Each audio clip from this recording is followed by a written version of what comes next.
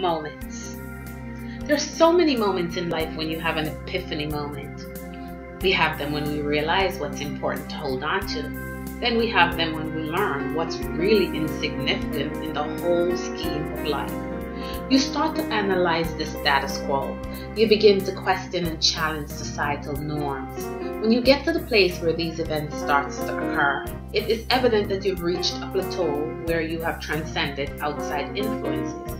What they taught you, what they believe to be true, all of it. You are now thinking for yourself.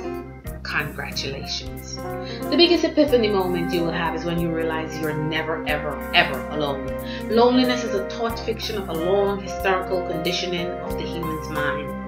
As a matter of fact, within the being of the human, there's so much going on that one of the major problems we have is keeping up with the different worlds colliding concurrently in our varied realities thus the birthing of schizophrenia and other psychotic episodes we experience, some temporary, some permanent. The most productive people are the ones that master the art of slowing down their brain waves, being still, going inside and shutting down everything. It only takes a few minutes a few times a day. It takes practice and discipline to master the art of living. It also takes right information.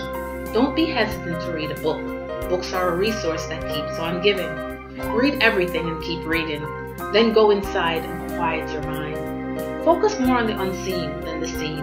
What is seen is mostly a smoking glass, an illusion of your present perspective. It will change. You can be sure of that.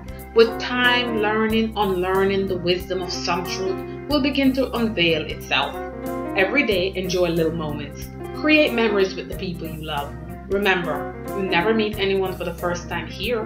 Everyone you encounter is for a reason, some unfinished business from another dimension. Enjoy the ride. I love you. I love you. I do.